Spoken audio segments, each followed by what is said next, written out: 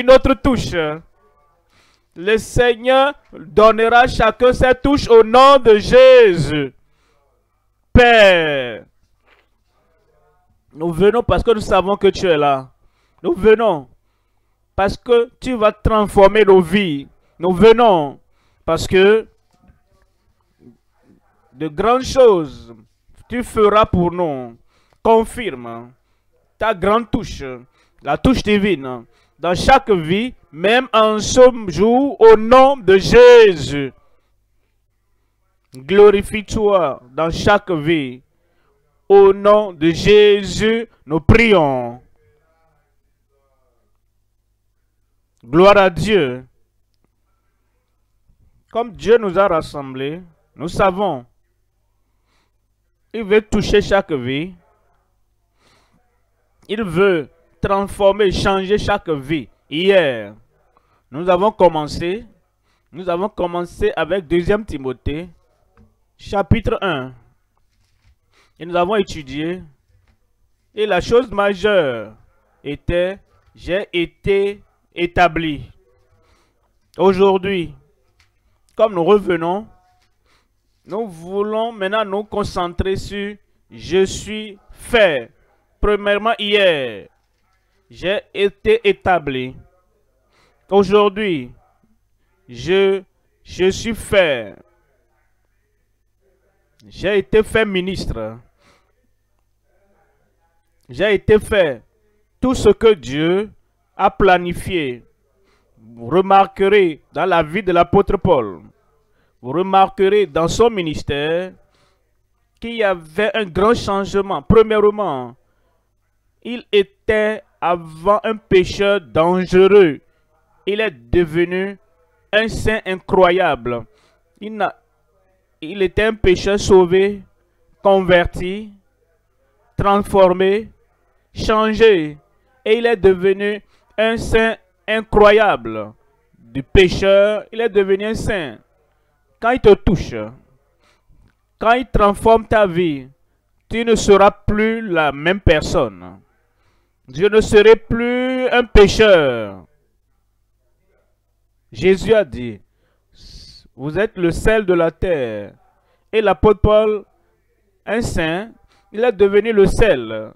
Le sel qui va effacer, qui va réduire, ôter la corruption de la société. Quand vous venez au Seigneur et que Dieu touche votre vie et que le Seigneur transforme votre vie, vous devenez le sel. Vous ne serez plus comme vous ne serez plus corrompu comme avant. La grâce vient, la force vient et la touche du ciel vient sur votre vie et vous devenez le sel de votre communauté. Un changement qui se produit. Et ce changement va influencer tous ceux qui sont autour de vous. Si vous êtes encore un pécheur comme vous étiez, alors la grâce n'a pas encore rien fait. Premièrement, un saint. Deuxièmement, le sel. Troisièmement, il est devenu un gagneur d'âme incroyable. Dieu a fait de lui cela. Il n'est pas resté comme il était avant. Un, un grand gagneur d'âme. La raison pour laquelle nous venons ici, c'est pour que la même chose que le Dieu impartial a accompli, a fait pour Paul, qui est Saul, qui est devenu Paul, que cette même grande chose, qu'il le fasse dans ta vie. Je vais entendre ton Amen. Quand nous disons que tu ne seras plus la même personne, cela veut dire que tu ne seras plus un pécheur. Tu ne seras plus un pécheur. Tu ne vas pas demeurer pécheur. Tu deviendras un saint incroyable. Tu deviendras le sel. Et tu deviendras un gagnant d'âme incroyable. Maintenant, l'apôtre Paul, comme il est venu au Seigneur, et le Seigneur a changé, transformé sa vie. Il était faible avant. Maintenant, il est devenu le plus fort. Et le Seigneur te rendra fort. Et ce qui te, faisait tomber avant et t'amenait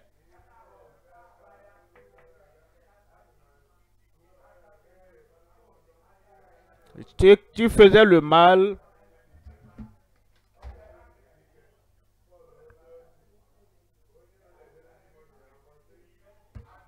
Donc supporte les tentations. Comme un bon soldat de Jésus-Christ, cet homme hein, qui était devenu un saint, qui est devenu un gagneur d'âme, qui est devenu le sel, il est devenu le soldat, un soldat du Seigneur, militant pour le Seigneur, agressif et triomphant dans le ministère que Dieu lui avait confié. Tu seras un soldat, un soldat de la croix, un soldat de Christ, un soldat qui ne va pas fléchir devant quoi que ce soit et l'ennemi ne pourra pas te vaincre. Je suis un saint. Dis-le pour toi. Je ne suis plus un pécheur. Je suis un saint. Je suis un gagneur d'âme. Je suis le sel. Et je suis un soldat de Jésus-Christ. Je vais t'entendre. Ce que tu confesses, c'est ce que tu vas posséder. Ensuite, il est devenu un serviteur incroyable de Dieu. Et quand vous lisez les épîtres, qu'il a pu écrire, il écrivait Paul, serviteur de Dieu, par la volonté de Dieu. Il ne sert plus la chair, tu ne sers plus Satan, tu ne sers plus dans la corruption du monde, tu deviens un serviteur du Dieu saint, du ciel. Et la nature du Seigneur est transférée dans ta vie. Et il en sera ainsi. Notre venue dans la présence de Dieu, vivant dans la présence de Dieu, la force viendra pour nous. Sa puissance viendra pour nous. De sorte que la faiblesse du passé, tout va disparaître. Alors finalement, il est devenu un berger. Il avait le cœur d'un berger. Il avait un cœur pastoral. Et il est devenu un berger. Un, berger incroyable. Et dit, je suis ce que je suis par la grâce de Dieu. Il, ça ne veut pas dire, je suis ce que je suis, je suis un pécheur par la grâce de Dieu. Non, tu n'es plus, on n'est pas pécheur par la grâce de Dieu. Tu ne peux pas être un pécheur mais ce n'est pas par la grâce de Dieu. La grâce de Dieu ne, nous ne fait pas de nous des pécheurs. La grâce de Dieu ne fait pas de nous des faibles. La grâce de Dieu ne fait pas de, de nous des corrompus. La grâce de Dieu vient dans ta vie et elle te change de l'état de pécheur pour devenir saint. Quel est ton nom? J'ai dit, quel est ton nom? Comme nous sommes, nous l'appelons Saint Paul, je t'appelle Saint Joseph, Saint Josephine, Saint William, Saint Étienne. Tu seras un saint au nom de Jésus. Donnez-moi bon, bon, bon amen. Aujourd'hui, comme nous revenons en 2 Timothée au chapitre 2, nous voulons considérer le chapitre 2 du verset 1er. Rappelez-vous, hier, j'ai été établi. Aujourd'hui, j'ai été fait. Et il fera de toi quelque chose de bon, quelque chose de grand, quelque chose de gracieux de ta vie et ton ministère au nom de Jésus. Verset 1. 2 Timothée chapitre 2 verset 1 Toi donc mon enfant, fortifie-toi dans la grâce qui est en Jésus-Christ. Verset 2. Et ce que tu as entendu de moi en présence de beaucoup de témoins, confie-le à des hommes fidèles qui soient capables de l'enseigner aussi à d'autres. Verset 3. Il dit, souffre avec moi comme un bon soldat de Jésus-Christ verset 4 nous dit, il n'est pas de soldat qui s'embarrasse des affaires de la vie, s'il veut plaire à celui qui l'a enrôlé.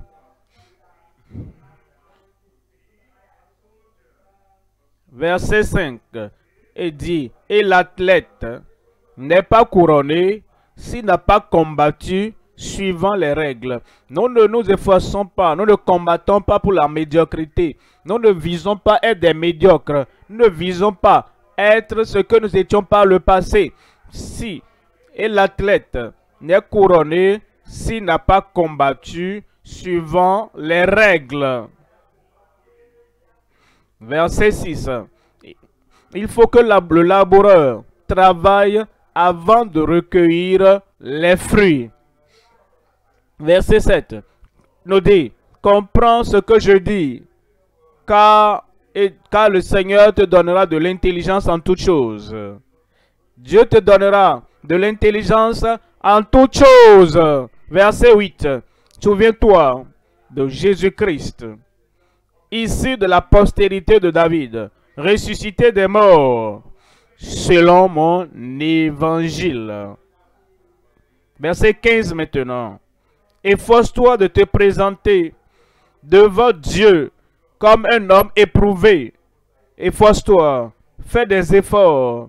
Ne regarde pas derrière. Regarde devant. Regarde en haut. Et parviens au lieu que tu n'es jamais parvenu. Prends une décision. Fais un engagement, une dédicace au Seigneur. Que tu seras éprouvé. Efforce-toi de te présenter devant Dieu comme un homme éprouvé. Un ouvrier qui n'a point à rougir. Qui dispense droitement la parole de la vérité. Aujourd'hui, nous considérons le message un ouvrier, un ministre approuvé, un ministre approuvé avec les modèles accrédités.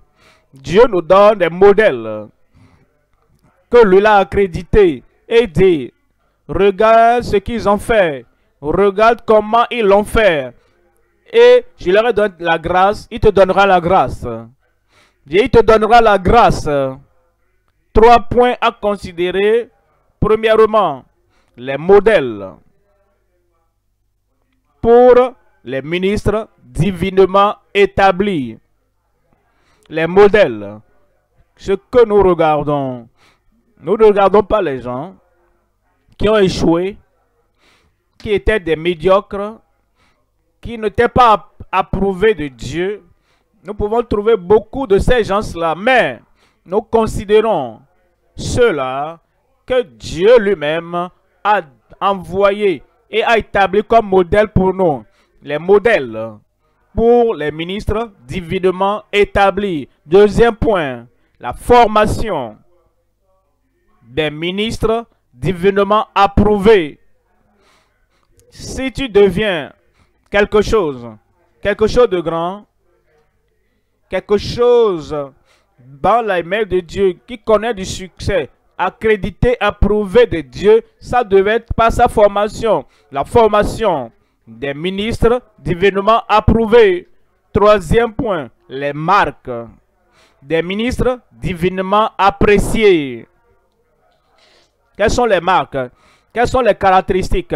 Quelles sont les choses que nous devons rechercher dans ma vie pour savoir que le Seigneur lui-même, qui m'a établi, a maintenant approuvé et apprécié les marques de mon ministère, de ton ministère. Revenons donc au premier point. Les modèles pour les ministres divinement établis. Il y a quatre modèles que Dieu nous a donnés ici. Premièrement, c'est le modèle d'un enseignant. Deuxièmement, le modèle d'un soldat. Troisièmement, c'est le modèle d'un athlète. Et troisièmement, c'est le modèle d'un laboureur. Premièrement, le modèle d'un enseignant diligent. Deuxièmement, le modèle d'un soldat discipliné. Troisièmement, c'est le modèle d'un athlète distingué. Quatrièmement, c'est le modèle d'un laboureur dédié. Voyons-les un à un. La poursuite des enseignants diligents. Voyons les enseignants et nous voyons leur poursuite. Et Dieu nous appelle au même style et au même modèle. Nous devons alors donc euh, agir comme des enseignants diligents. C'est le ensuite le portrait des soldats disciplinés. Nous regardons le soldat, le soldat normal qui est suscité pour combattre pour les droits de la communauté, de leur territoire, de leur pays. Et le Seigneur nous a suscité pour le royaume. Ensuite, nous devons donc considérer ce portrait. Nous devons permettre au portrait des soldats disciplinés de se reproduire dans nos vies. Troisièmement, c'est la, persistance des athlètes distingués depuis son temps, dans les temps anciens, que les Jeux olympiques avaient commencé et ça a continué jusqu'à aujourd'hui. Et vous voyez les gens qui couraient et qui voulaient gagner une médaille. Et ils sont distingués à cause de leur persévérance à se préparer pour être des athlètes. Quatrièmement, nous verrons, vous êtes déjà familiers à cela, la performance des laboureurs dédiés. Ils sont engagés à nourrir la nation, pas seulement se nourrir eux-mêmes ou nourrir leur famille. Ils veulent nourrir leur communauté, ils veulent nourrir leur nation, ils veulent nourrir les gens même au-delà de leur nation. Dieu nous donne le portrait que nous devrions avoir et nous donne les modèles que nous devrions avoir. La performance des laboureurs dédiés. Voyons-les rapidement l'un après l'autre. Premièrement, la poursuite des enseignants diligents. Deuxième Timothée chapitre 2, verset 1. Toi donc mon enfant, fortifie-toi dans la grâce qui est en Jésus-Christ. Tu es sauvé par la grâce. Tu es changé par la grâce. Tu es transformé par la grâce. Tu es soutenu par la grâce. Tu reçois l'énergie par la grâce. Tu reçois la puissance par la grâce. Tu es rendu fort par la grâce. Maintenant, quand tu es fort, tu es capable de faire ce que tu n'arrivais pas à faire avant. Tu arrives à résister à ce à quoi tu n'arrivais pas à résister avant. Tu es capable de vaincre les péchés et les œuvres de la chair qui, qui dominaient sur ta vie. Quand tu es maintenant fort, tu es capable de vaincre. Alors l'apôtre Paul, par l'inspiration, a dit à son fils Timothée, fortifie-toi, tu ne peux pas être faible et aider les faibles. Tu ne peux pas être pécheur et aider les pécheurs. Tu ne peux pas de rester découragé et aider ceux qui sont découragés. Si tu veux aider d'autres, si tu veux relever d'autres, les sortir de la force de la faiblesse et les sortir des habitudes, de, des péchés, toi-même, tu dois être si fort que tu as vaincu et tu peux témoigner, j'ai vaincu, alors je viens vous montrer le chemin pour vaincre. Voyez le verset 2 maintenant. Voici la poursuite que Timothée devrait donc avoir. Et les choses et ce que tu as entendu de moi. Et ce que tu as entendu de moi, Timothée, depuis que tu es venu, et que tu m'écoutes, qu'est-ce que tu as entendu? Paul, j'ai entendu sur la repentance, j'ai entendu parler de la foi en Christ. Ce que tu as entendu de moi, Paul, qu'est-ce que tu as entendu de moi? J'ai entendu que si quelqu'un est en Christ, il est une nouvelle créature. Les choses anciennes sont passées et voici, toutes choses sont devenues nouvelles. Est-ce que tu as entendu autre chose? Oui, j'ai entendu parler du salut que si vous croyez dans ton, si tu crois dans ton cœur que Jésus-Christ est mort et qu'il est ressuscité des morts, et maintenant, et que tu l'acceptes comme ton sauveur, comme ton Seigneur, tu seras sauvé. Qu'est-ce que tu as entendu de moi? Ah, marche pas la foi et ne marche pas la vue. Qu'est-ce que tu as entendu de moi? J'ai été crucifié avec Christ. Si je vis, ce n'est plus moi qui vis. C'est la vie que je mène maintenant. Je la mène par la foi au Fils de Dieu qui m'a aimé. Maintenant, tu ne peux pas pécher par la grâce de Dieu.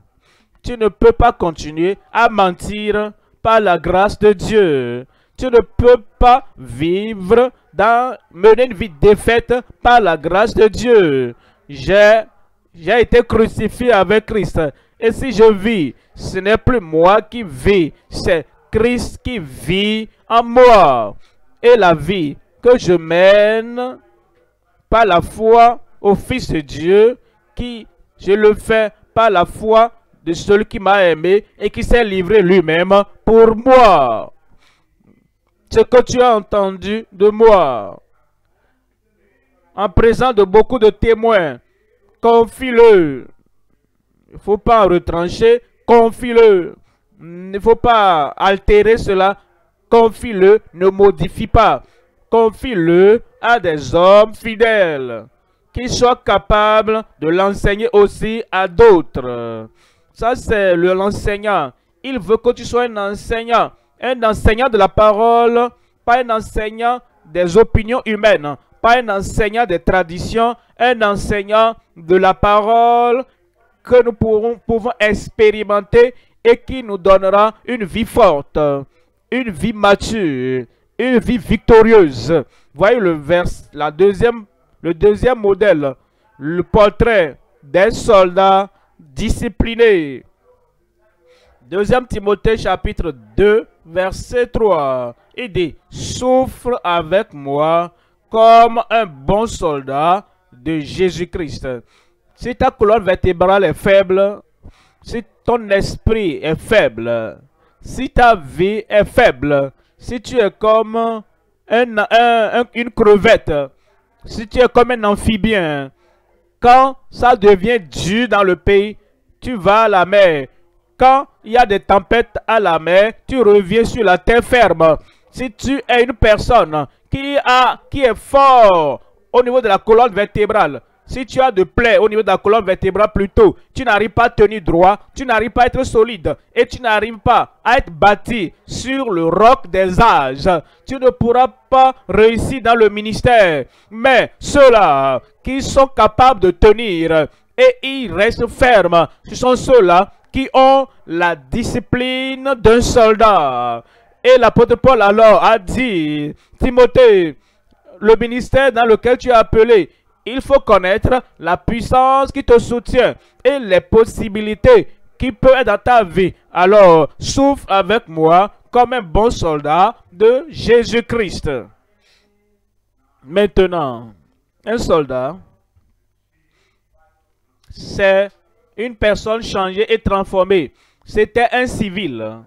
Sa vie était vraiment moche, faible.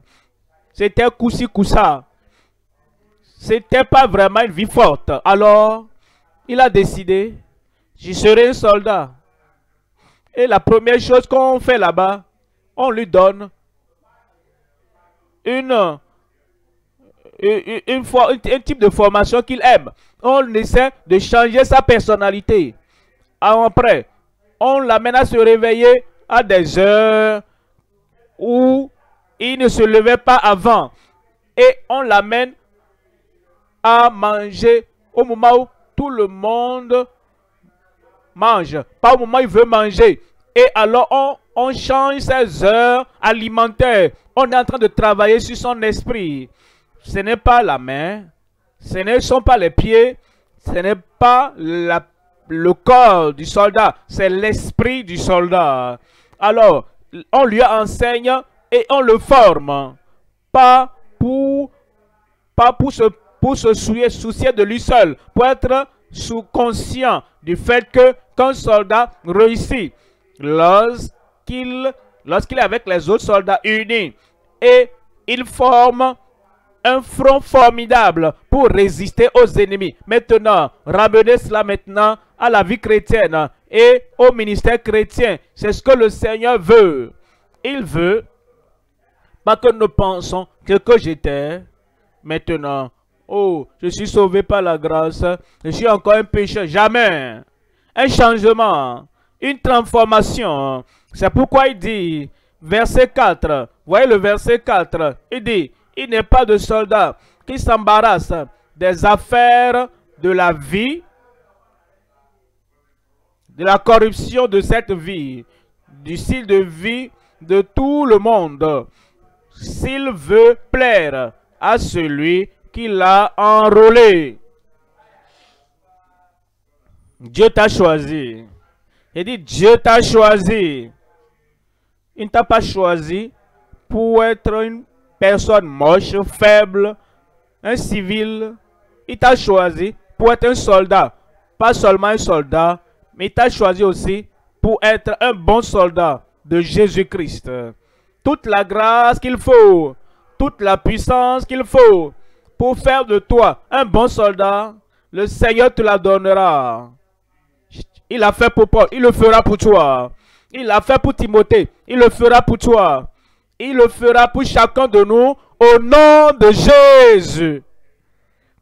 Voyez ceci maintenant. 1 Corinthiens chapitre 9, verset 25. 1 Corinthiens chapitre 9, verset 25. Voici l'apôtre Paul qui dit, tous ceux qui combattent s'imposent, sont combattent. Il ne faut pas t'efforcer pour la médiocrité. Il ne faut pas satisfaire de là où tu es. Et ne dis pas, bon, tout va bien. Non, tout ne va pas bien. Monte plus haut. Aidez tous ceux qui combattent, s'imposent toute espèce d'abstinence. S'impose toute espèce d'abstinence. Il a amené tout dans sa vie sous le contrôle. Maintenant, ils le font. Et ils le font pour obtenir une couronne corruptible. Mais nous, faisons-le pour une couronne incorruptible. Verset 26. Aidez, moi donc, je cours. Je ne... Je ne marche pas seulement. Entraînant les pas. Parce que vous comprenez. Il était en prison, vous comprenez.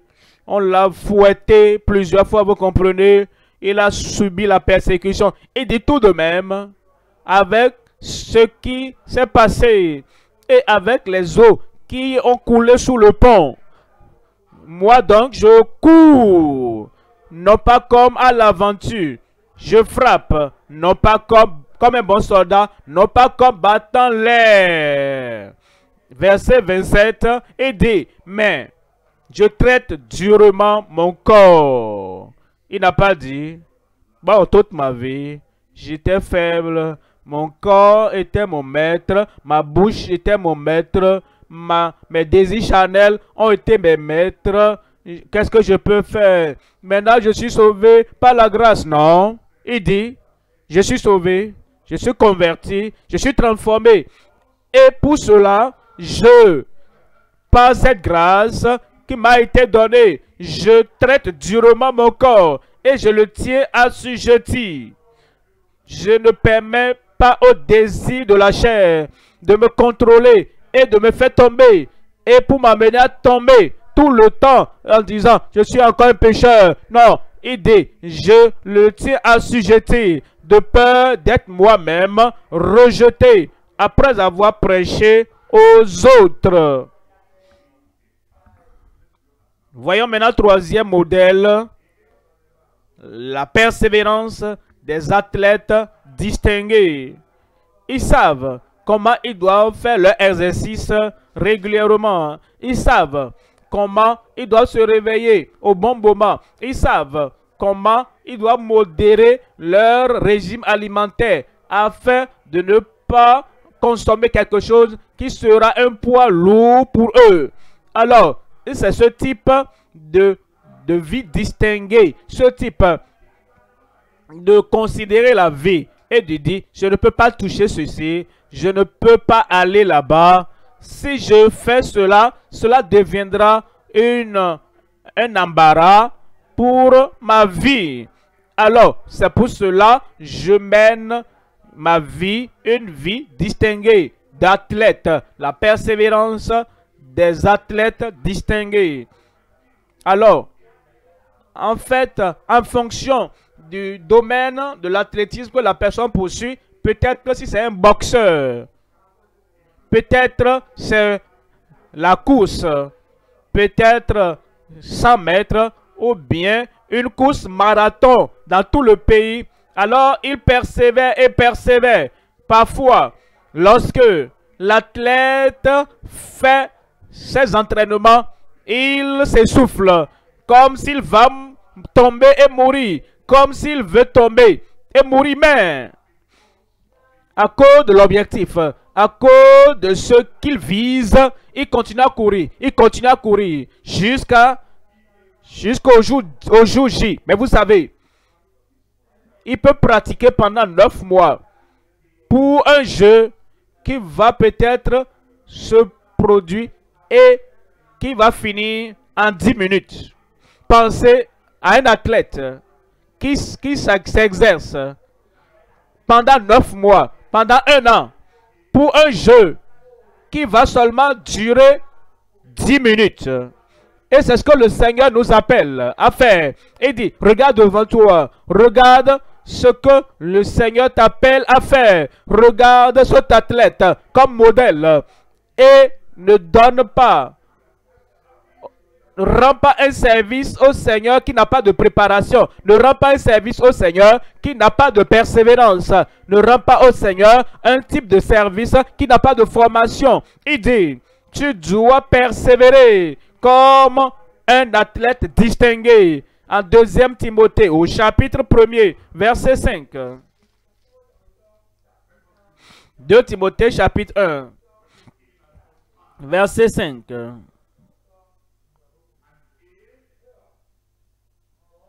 2 Timothée, il nous dit,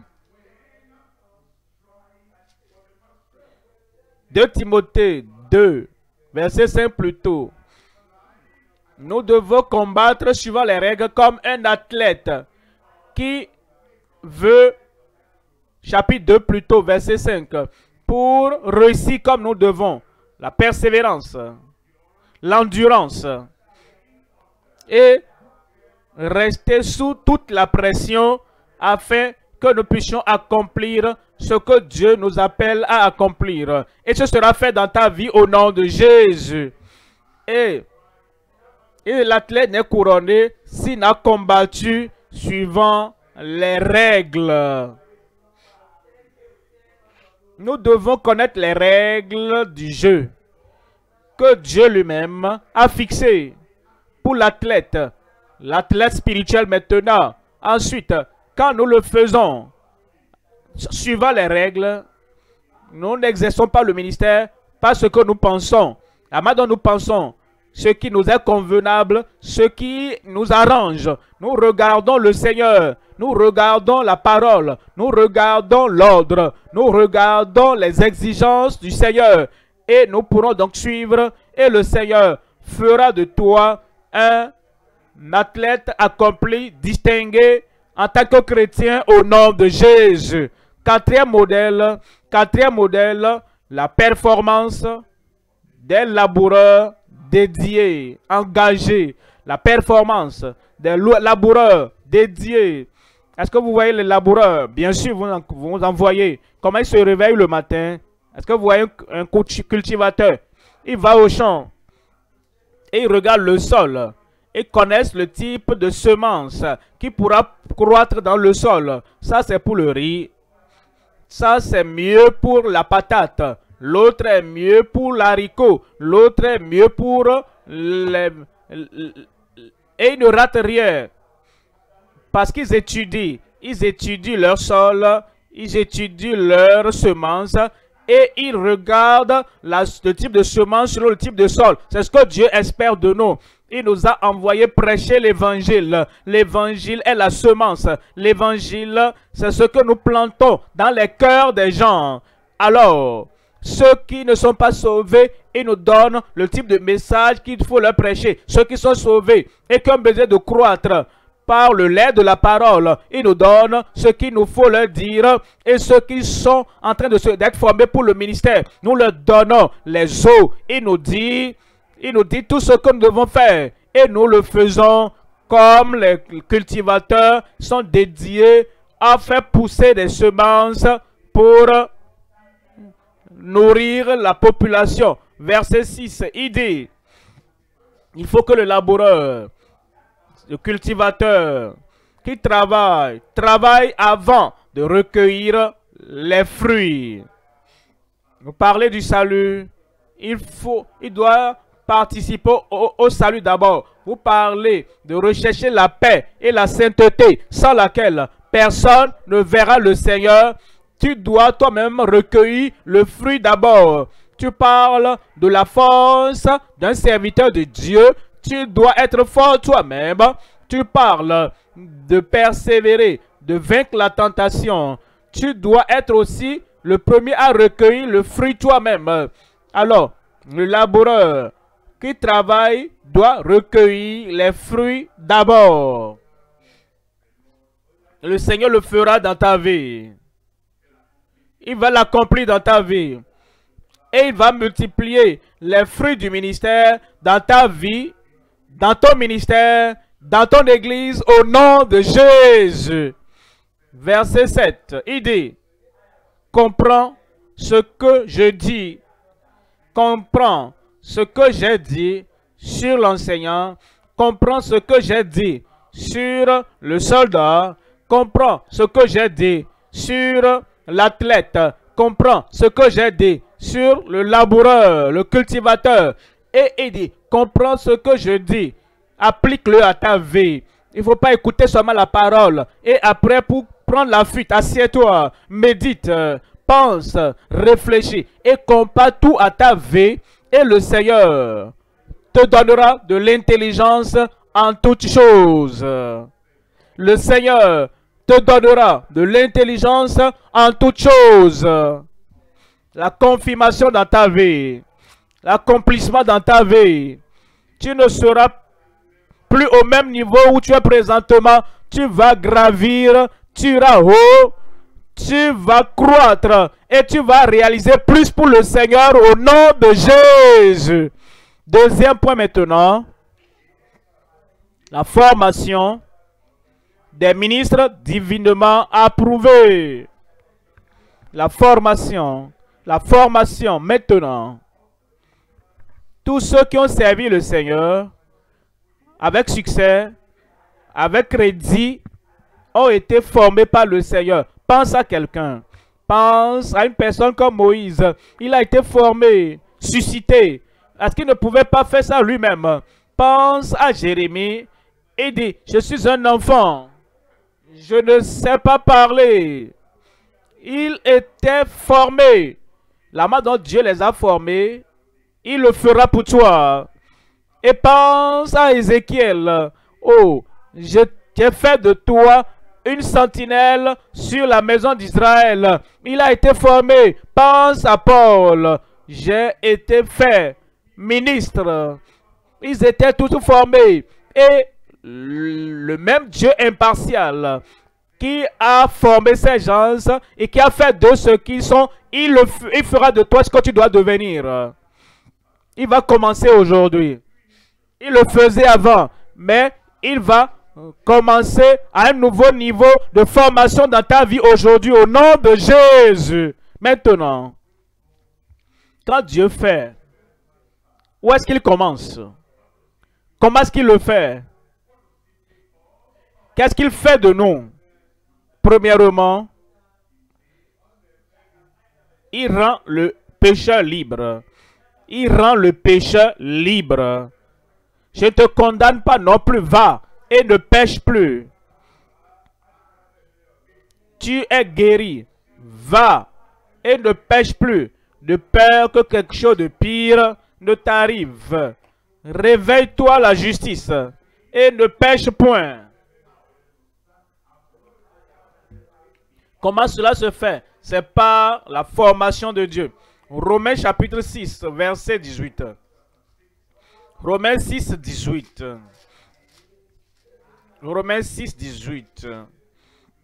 Ayant été affranchi du péché, c'est lui qui le fait. Vous êtes devenus esclaves de la justice. Verset 22. Verset 22, il dit, mais maintenant, étant affranchi, c'est lui qui le fait pour toi.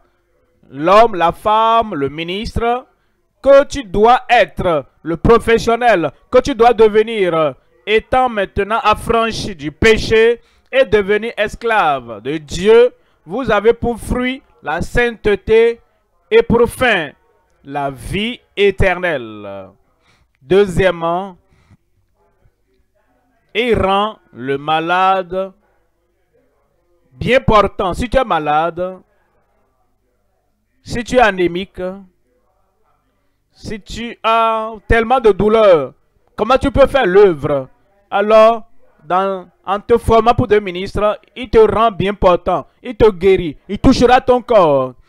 Et il va ôter tout ce qui va, ce qui pourra te rendre incapable pour exercer l'œuvre, le ministère. Acte des apôtres, chapitre 9, verset 34. Pierre lui dit, Aîné, Jésus-Christ te guérit. Ça, c'est le mot. Jésus te guérit. Lève-toi et arrange ton lit. Et aussitôt, il se leva.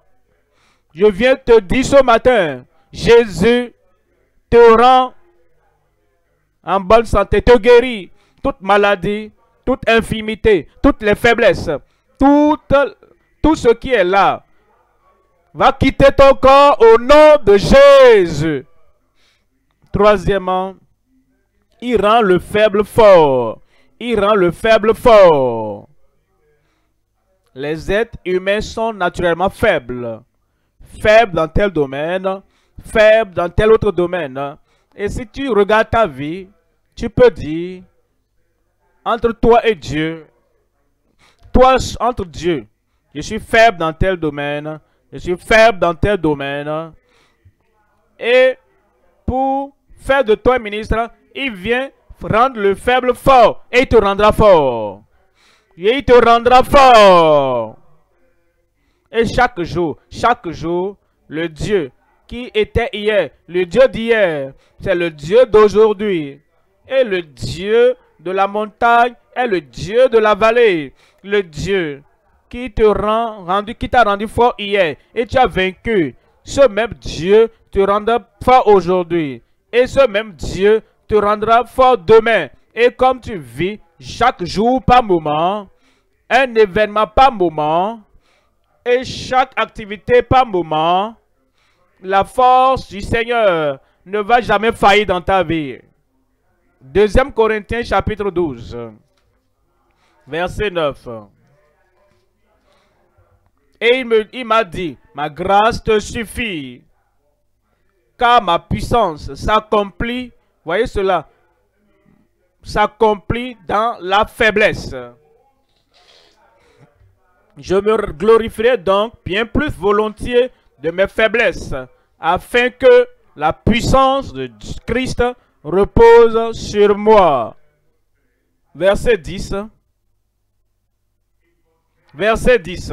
C'est pourquoi je me plais dans les faiblesses, dans les outrages, dans les calamités, dans les persécutions, dans les détresses, pour Christ, car quand je suis faible, dites-moi, c'est alors que je suis fort. Il faut jamais compter sur la faiblesse. Tu veux exercer un ministère, tu veux aller là où Dieu t'a appelé et tu sens une, une sorte de faiblesse. Il ne faut pas compter sur cela. Compte la grâce de Dieu. Compte sur la force du Seigneur. Compte sur les possibilités que tu as dans le Seigneur. Tu seras fort. Quatrièmement, il rend les, il rend les victimes victorieux. Tu étais une victime avant. Tu veux maintenant exercer le ministère. Est-ce que je peux être un ministre? un ministre efficace, un ministre qui réussit? Avec ce type de conteste, je suis toujours victime. Oh, et je pense oh, à la victime, victime, victime. Et tu as l'état d'esprit d'une victime. Le Seigneur va te transformer en victorieux. Tu seras frère Victor. Tu seras sœur Victoire. Donnez grand Amen. Juge 5. Juge 5, verset 13. Juge 5, verset 13. C'est lui qui forme. Alors, un reste du peuple, il fera de toi ce, ne fera pas de toi ce que tu, seras, tu étais, il te fera franchir la ligne, sauter les obstacles, et tu seras un vainqueur au nom de Jésus.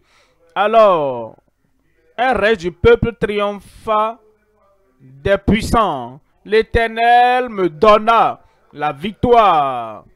Ça, c'est le mot. L'Éternel me donna la victoire sur les héros.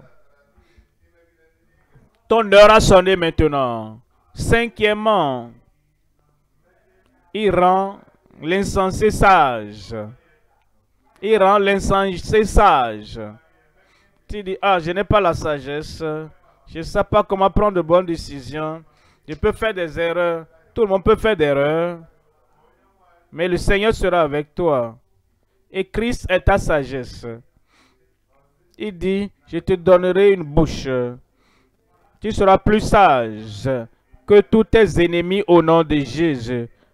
Ensuite, la parole de Dieu nous a été donnée pour que cette parole puisse te rendre sage. Deuxième Timothée 3, 15. 1, 2, Timothée 3, 15. Dès ton enfant, tu connais les saintes lettres qui peuvent te rendre sage à salut par la foi en Jésus-Christ. Non seulement cela,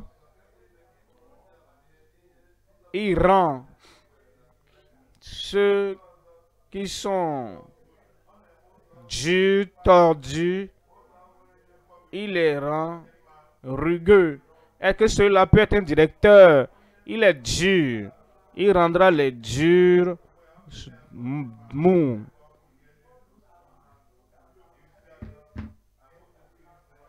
Luc 3, 5. Toute vallée sera rabaissée et toute montagne Toute vallée sera comblée, toute montagne, toute colline seront abaissées. Ce qui est tortueux sera redressé et les chemins raboués seront aplanés. Tout coin tortueux dans ta vie, il va changer cela. Tout ce qui va discréditer ton ministère, qui va discréditer ton progrès, discréditer ton efficacité, le Seigneur va tout ôter de ta vie au nom de Jésus. Et il rendra donc les, il va rendre les raboteux aplanis. Ensuite, il rend, il rend l'ordinaire distinct.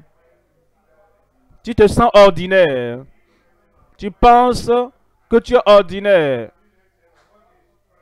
Et tu penses que ta force, ta vie est ordinaire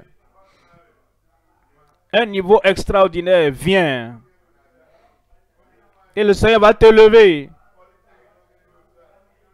à ce niveau extraordinaire. Et tu feras des exploits pour le Seigneur au nom de Jésus. 1 Corinthiens chapitre 4, 7. 1 Corinthiens chapitre 4, verset 7. Qu'est-ce qui, te distingue? Qu'as-tu que tu n'as tu n'es reçu?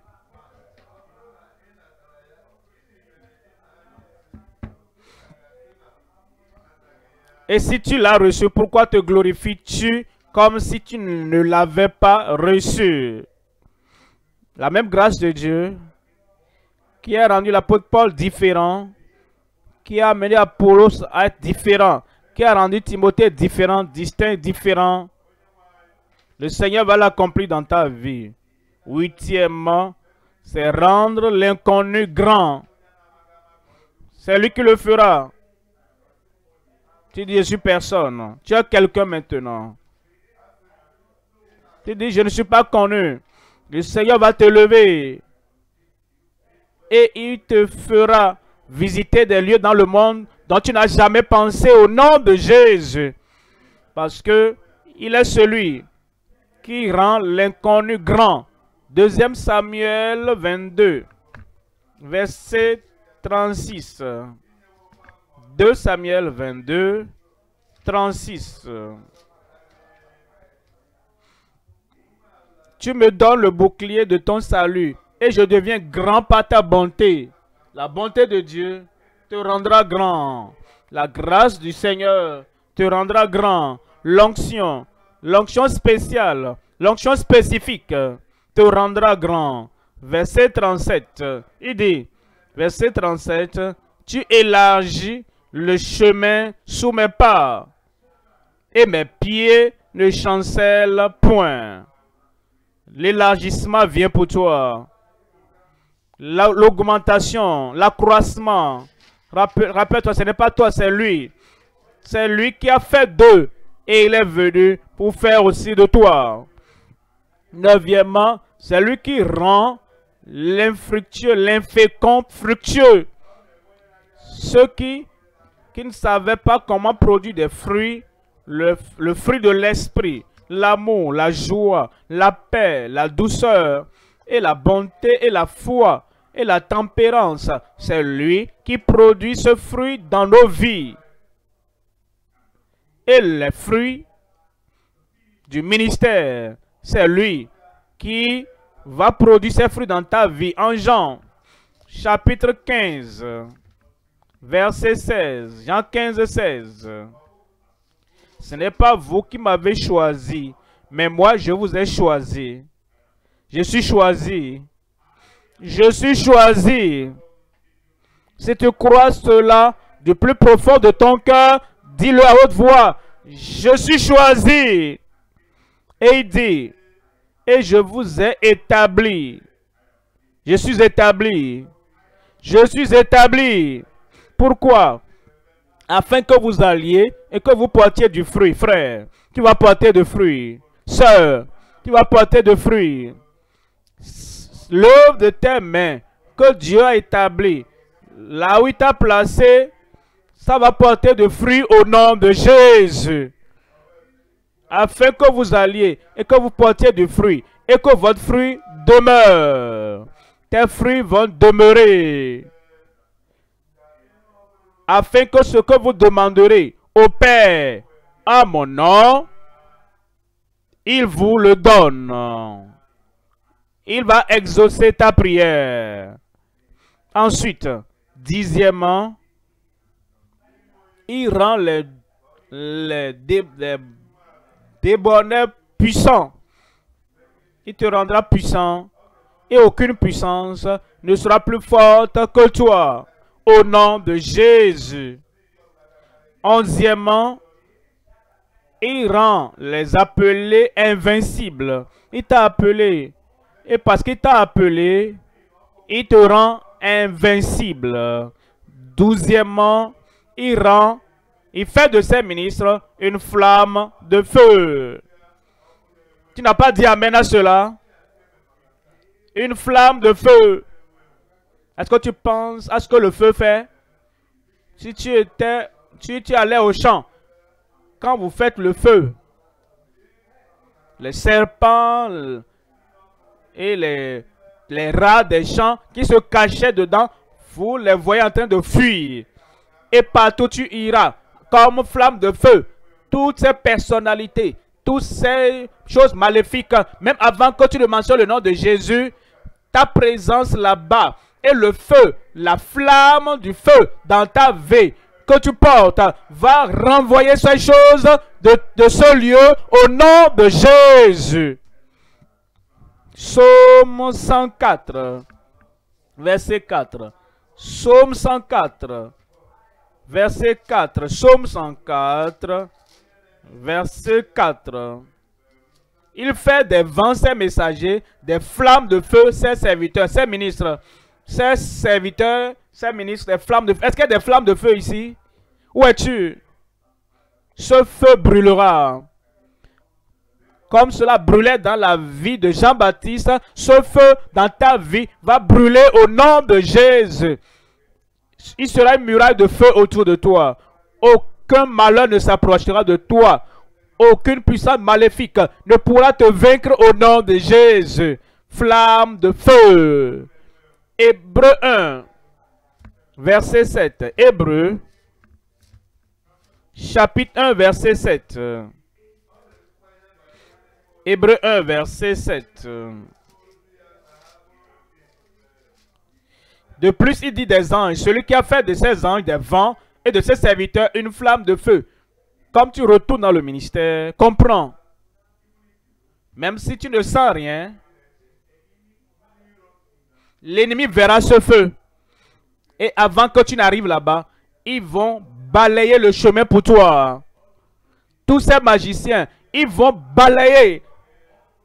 Tous ces Cananéens, ils vont quitter pour toi. Il fera de toi une flamme de feu permanente au nom de Jésus. Venons maintenant au troisième point. Troisième point. Les, les marques des ministres divinement appréciés. Comme nous venons à cette conférence, et après la conférence, nous allons retourner dans le ministère quelles sont les marques que je dois rechercher dans ma vie? Quelles sont les marques? Dois-tu rechercher dans ta vie? Ouvrons nos Bibles en deuxième Timothée, chapitre 2. Versons du verset, allons du verset 1 pour voir les marques qu'il espère. Premièrement, la dépendance en Dieu pour la grâce toute suffisante. Verset 1. Toi donc, mon enfant, Fortifie-toi dans la grâce qui est en Jésus-Christ. Ça, c'est la marque. Je ne dépends pas de ma force quand je dis je ne peux pas aller là-bas parce que je ne suis pas capable pour ce lieu. Mais comme ça, je dépends de ma force. Mais quand je dépends de la grâce de Dieu, je sais que partout que la, le plan de Dieu m'envoie, il y a assez de grâce pour accomplir tout ce qu'il m'appelle à faire. La dépendance en, en la grâce, tout à la grâce suffisante de Dieu. Deuxièmement, reproduire des prédicateurs de la même nature. Ce sont les marques d'une personne qui est approuvée, établie et appréciée et ouin par Dieu. Il reproduit des prédicateurs de la même nature les ouvriers de la même nature, les ouvriers de, les ouvriers de la même nature, verset 2. Et ce que tu as entendu de moi, en présence de beaucoup de témoins, confie-le à des hommes fidèles qui soient capables de l'enseigner aussi à d'autres. Quand tu transmets tout ce que tu as, toute l'habileté que tu as, toute la compréhension que tu as, toute la vision que tu as, toute la révélation que tu as, toutes les capacités que tu as, tout ce que tu as comme capacité, tu transmets cela à la génération suivante. Et tu as un impact défini sur ceux que tu diriges. Et ils peuvent faire ce que tu fais. Et tu peux t'asseoir et les voir réussir. Ça, c'est la marque d'un ministre divinement apprécié. Troisièmement, c'est la libération des embarras. Il nous dit dans le verset 4, il n'est pas de soldat qui s'embarrasse des affaires de la vie. S'il veut plaire à celui qui l'a enrôlé. C'est-à-dire, la, marque que tu as, si tu es un enseignant, une autre personne est docteur, tu n'es pas en train de chercher, de chercher à être ou faire le travail du docteur. Ça, c'est embarrasser d'affaires d'autrui. Tu es un médecin, quelqu'un, un, un voilier. Tu ne cherches pas à te mêler des affaires du voilier. Si tu es un ministre dans une capacité donnée, tu n'es pas en train de te mêler de ce que les autres font. Tu connais ton appel. Tu connais tes dons. Tu connais ce que Dieu a fait de toi. Et tu sais ce que Dieu a placé sur terre. Il n'y aura donc pas d'embarras dans les affaires d'autrui. Si tu ne veux même pas t'embarrasser des affaires à toi, bonnes choses, que diront de mauvaises choses, des choses traditionnelles, des choses occultes et les choses tribales qui ne viennent pas de Dieu. Un homme appelé de Dieu, une femme appelée de Dieu. La, la marque que Dieu apprécie dans son ministère. Tu ne vas pas t'embarrasser des affaires de cette vie afin de plaire à celui qui t'a choisi, qui t'a enrôlé dans le ministère. La liberté des embarras de la vie. Quatrième, quatrièmement, visant toujours la maîtrise dans le ministère. Toujours visant la maîtrise. Ça, c'est la marque. Celui qui dit, ça, ce n'est pas trop important. Ça ne me donnera pas de grand mérite. Ça ne sera pas reconnu par les autres autour de moi. Alors, je peux faire ceci comme je veux. Je ne dois pas me préparer. Je ne dois pas donner de mon meilleur. Ça, ce n'est pas la marque d'une personne appréciée par Dieu. La marque d'un ministre divinement apprécié, c'est qu'il vise toujours la maîtrise dans le ministère. Verset 5. Verset 5. Et l'athlète n'est pas couronné s'il n'a pas combattu suivant les règles. Cinquièmement, la possession des fruits de l'évangile. L'évangile porte des fruits. Les fruits d'une nouvelle vie. Les fruits de la vie de justice. Les fruits d'une vie sainte. Les fruits d'une vie puissante, irrésistible. L'évangile porte de fruits. Et si toi tu portes l'évangile, prédicateur de l'évangile, les marques que tu as établies, que tu as approuvées et que tu as appréciées par Dieu qui t'a appelé, c'est que tu dois posséder les fruits de l'évangile. Dans le verset 6, il dit, il faut que le laboureur travaille avant, qu'il travaille? C'est pas qu'il travaille une semaine. Pendant parmi les 52 semaines de la semaine, il travaille, il plante, il prêche, il fortifie, il édifie l'église.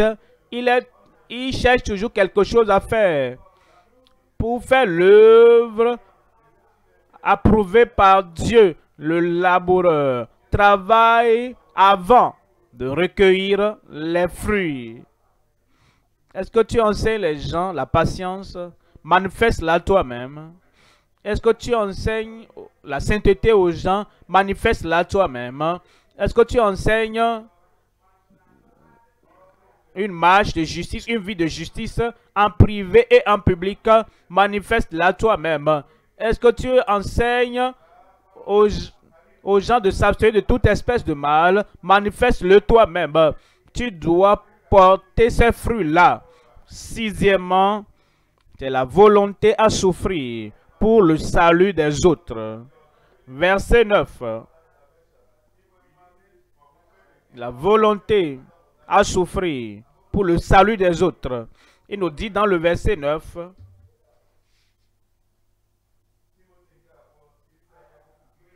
pour lequel je souffre jusqu'à être lié comme un malfaiteur. Vous savez, certaines personnes n'arrivent pas à supporter qu'on mente sur leur compte. Oh, ils ont menti sur mon compte.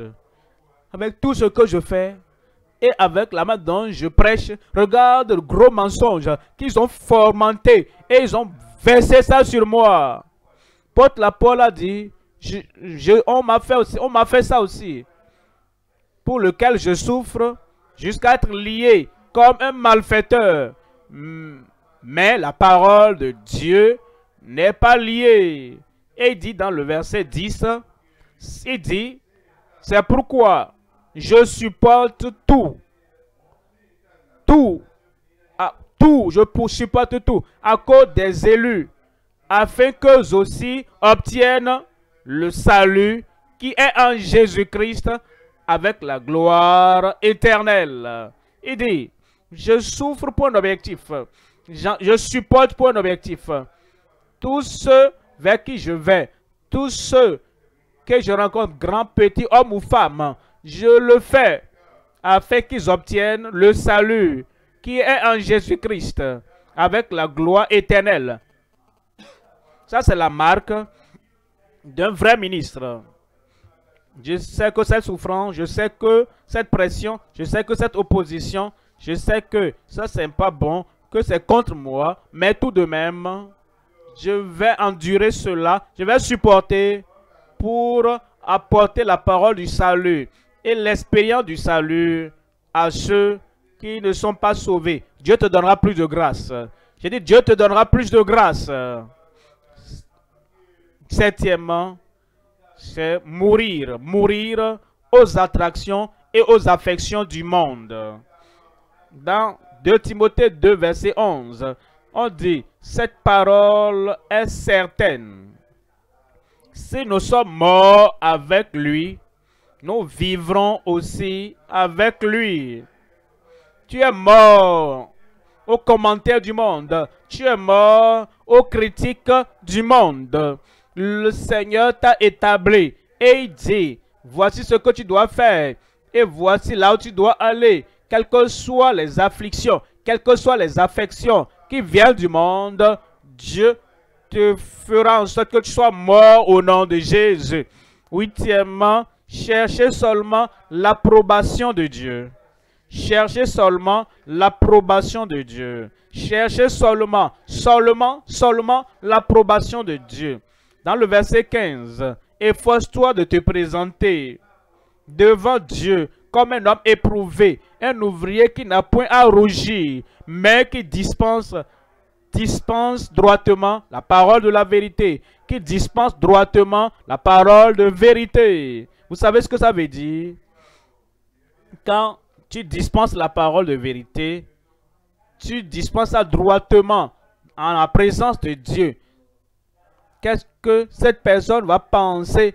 Parce que ça vient de l'autre côté. Qu'est-ce que l'autre personne va penser de la prédication? Parce qu'il vient de l'autre côté. Non, ça ce n'est pas ton affaire. Prêche la parole de Dieu seulement. Tu ne dois pas prêcher une doctrine dénominationnelle. Tu dois prêcher la parole de Dieu. Efforce-toi de te présenter devant Dieu comme un homme éprouvé pas devant un conseil d'administration, devant Dieu, pas devant un panel, mais devant Dieu, comme un homme éprouvé, un ouvrier qui n'a point à rougir, qui dispense droitement la parole de la vérité. Le Seigneur rendra sa grâce abondante dans ta vie et il le fera ainsi pour toi au nom de Jésus. Ensuite, dixièmement, neuvièmement, c'est à éviter les engagements infructueux. Les engagements sont nombreux, les invitations sont nombreuses, les discussions sont nombreuses, les questions sont nombreuses. Tu dois éviter, éviter tout ce qui ne va pas porter de fruits. Ce qui va engendrer des disputes, des querelles, des comparaisons dénominationnelles et ceci et cela. Ah, Dieu ne m'a pas appelé pour cela. Vous occupez-vous de ça. Et toi avance dans le ministère accrédité par le Seigneur au nom de Jésus. Dixièmement, préserve la vérité qui bâtit la foi. Préserver la vérité de la parole qui bâtit la foi. La foi vient de ce qu'on entend. Et ce qu'on entend vient de la parole de Dieu. Et c'est ce que tu dois préserver. Onzièmement, l'éloignement total et complet, l'éloignement total et complet de toute iniquité. Verset 19. Néanmoins, le solide fondement de Dieu reste debout, avec ses paroles qui lui servent de sceau. Le Seigneur connaît ceux qui lui appartiennent, et quiconque prononce, et quiconque, quiconque, quiconque prononce le nom du Seigneur, qu'il s'éloigne de l'iniquité. L'iniquité n'aura pas d'emprise dans ta vie. Au nom de Jésus. Verset 21. Verset 21. Si donc quelqu'un, si donc quelqu'un, si une femme, un homme, un ministre, un professionnel, si quelqu'un qui invoque le nom du Seigneur se conserve plus, se conserve plus en s'abstenant de ces choses, il sera un vase d'honneur. Vase d'honneur.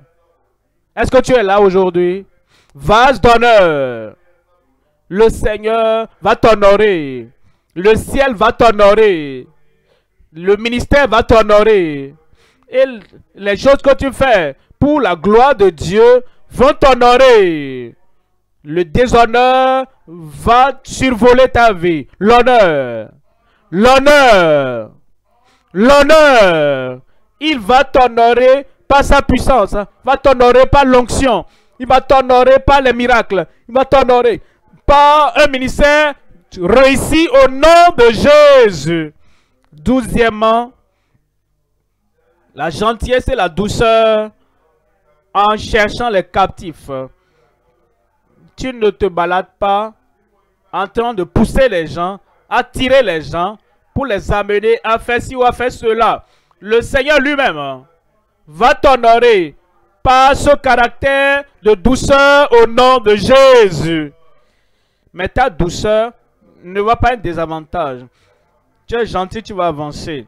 Tu es gentil et tu iras plus loin. Tu es doux et le Seigneur va se magnifier dans ta vie au nom de Jésus. Je prie que le Dieu du ciel, le Dieu qui t'a appelé et le Dieu qui t'a établi, à partir de ce jour, il va mettre l'honneur sur ta vie. Ceux qui te verront, ils diront, voici un homme honorable, voici une femme honorable. Ensuite, le chemin sera balayé devant toi, comme on le fait pour les gens honorés au nom de Jésus. Où es-tu? Homme d'honneur, femme d'honneur, où es-tu? Pourquoi ne pas te lever et dire Seigneur, me voici. Fais de moi ce que je dois être. Fais de moi ce que je dois être pour toi. Oui, c'est lui qui fait. C'est lui qui fait. Et Dieu fera de toi. Il fera de toi. Il fera de toi. Il fera de toi. Tout ce que tu dois être. Tu iras plus haut. Tu iras plus haut. Plus que tu l'as fait par le passé. Et le Seigneur va approuver ton service, ton ministère et les grandes choses qu'il veut pour ta vie, pour ta famille, pour ton ministère. Dieu va l'accomplir même à partir de ce jour. Homme d'honneur, parle au Seigneur. Seigneur, merci. Seigneur, merci. Ce n'est pas par les mérites, c'est pas la miséricorde, c'est pas la grâce.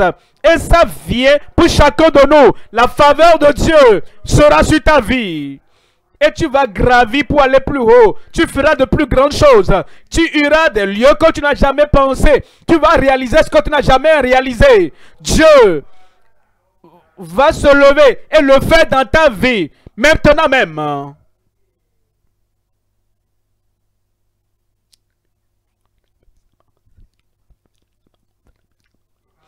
Regardez les modèles qu'il a placés devant nous le modèle d'un enseignant.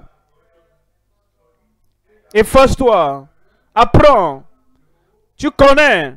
Ensuite, tu pourras communiquer ce que le Seigneur a fait dans ta vie. Mais sois diligent en le faisant. Étudie ta Bible. Ce n'est pas avoir la dévotion matinale. C'est bon, c'est bon. Mais tu dois aller plus profond. Tu dois aller plus haut. Afin de profiter de faire profiter de notre génération de l'enseignement de la parole de Dieu. Et l'onction d'un enseignant sera sur ta vie. Ensuite, tu seras un soldat de Jésus-Christ. Pas de crainte, pas de timidité, pas de tremblement. Et le Seigneur va ôter tout ce qui est là et te donnera une force spirituelle là-bas. Ensuite, comme un athlète, tu vas courir. Tu ne portes pas de fardeau. Tu ne permets pas des embarras. Tu ne permets pas à des colis. Mais tu avances, tu avances, tu avances. En pratiquant, en t'exerçant. Discipliné. Tempéré en toutes choses.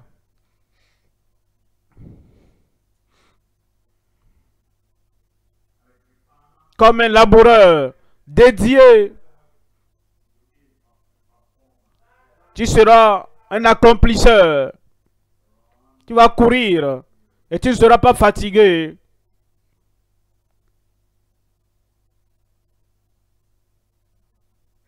Parle au Seigneur. Il fera de toi. Il fera de toi un saint. Il fera de toi un gagnant d'âme. Il fera de toi quelqu'un de fort. Il fera de toi le sel de la terre. Il fera de toi un intendant.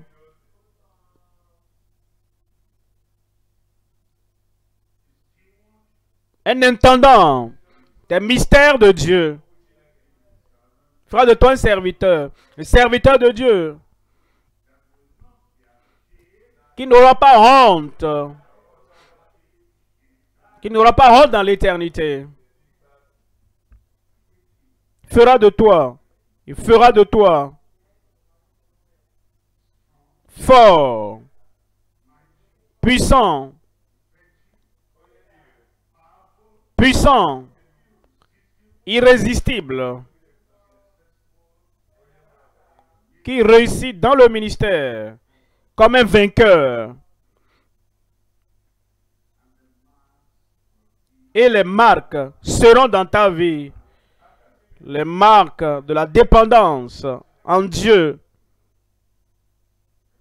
Les marques pour reproduire les autres. Et les marques la liberté. La liberté totale. De tout embarras et tout ce qui sera des embarras, des obstacles dans ta vie pour empêcher ou ralentir ton mouvement, ton progrès dans le ministère. Tu dois rejeter cela.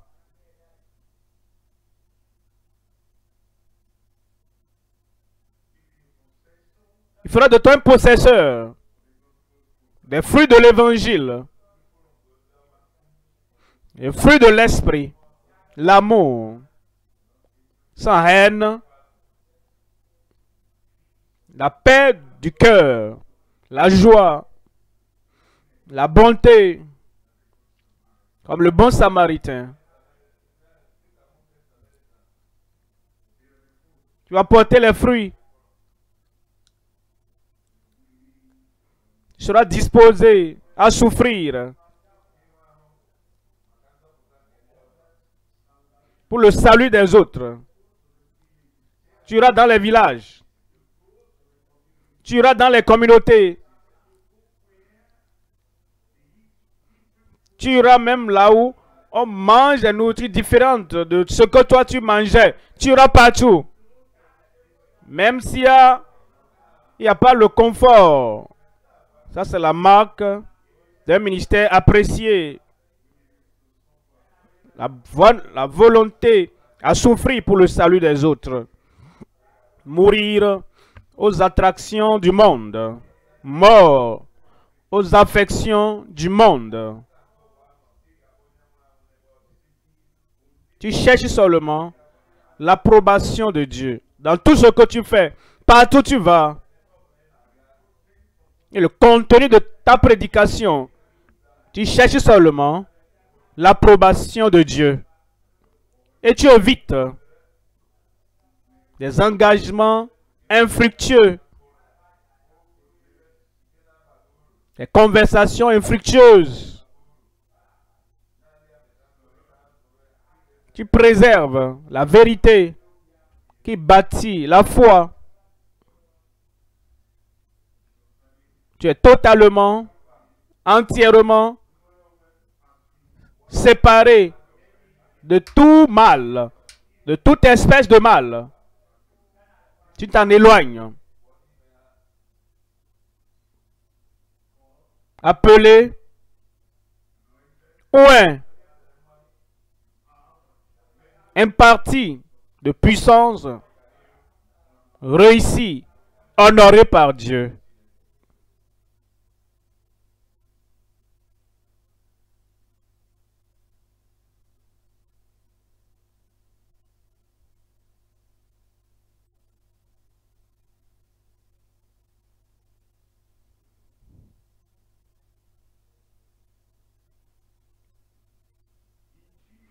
Au nom de Jésus, nous prions. À partir d'aujourd'hui, Dieu va t'honorer. Sur le champ, Dieu va t'honorer. Dans ton ministère, Dieu va t'honorer. Dans ta famille, Dieu va t'honorer. Le Seigneur t'a mené à lui et il t'envoie pour que tu parles de fruits et ton fruit va demeurer. Et le Seigneur va t'honorer quand tu vas prier. Et tout ce que tu demanderas au Seigneur, le Seigneur le fera. Le frère honoré, la soeur, le ministre honoré, où es-tu là-bas? Sœur honorée, ministre honoré, où es-tu là-bas? Accepte-le, c'est fait. Père, nous te remercions ce jour nous bénissons ton nom parce que tu nous as rappelé que si quelqu'un réussit, si quelqu'un est invincible, si quelqu'un est fructueux, si quelqu'un est puissant et fort, c'est toi qui as fait de lui, c'est toi qui as fait de cela dans sa vie. J'amène tes ministres devant toi, j'amène tout un chacun de nous, chacun de nous, tous les frères, toutes les soeurs devant toi. Seigneur, je prie envoie l'honneur du ciel dans leur vie au nom de Jésus.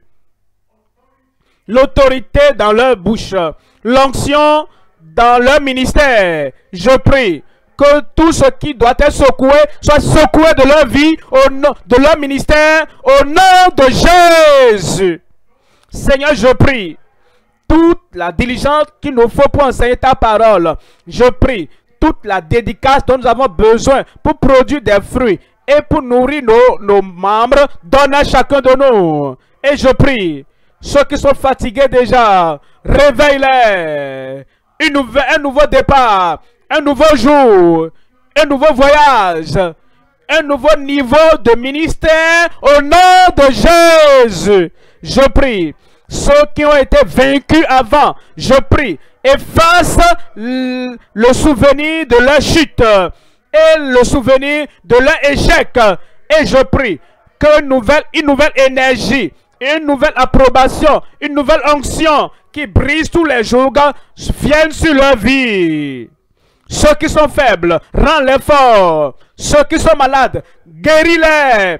Et ceux qui sont liés, affranchis-les. Et je prie que tout embarras, tout encombrement soit ôté de leur vie. Lève-toi, lève-toi, lève-toi dans la force du Seigneur. Regarde le voyage devant toi. Dieu ira avec toi. Le Seigneur sera avec toi. Sa force sera avec toi. Et tout ce qui est appelé échec est annulé de ta vie. Plus haut, plus haut. Père, plus loin, plus grand, plus élevé. Dieu le fera pour toi au nom de Jésus. Comme le Seigneur nom, la terre va écouter ton témoignage. Le ciel va enregistrer ton succès. En toi, le plus grand qui n'a jamais perdu de bataille va demeurer avec toi. Plus d'échecs, plus de pleurs, plus de sous-tristesse, plus de maladie, plus de faiblesse, plus de pauvreté. Les provisions du ciel sont sur ta vie. Père, confirme toutes choses pour chacun au nom de Jésus. C'est fait. C'est fait. Je reçois. Je reçois la confirmation dans ta vie.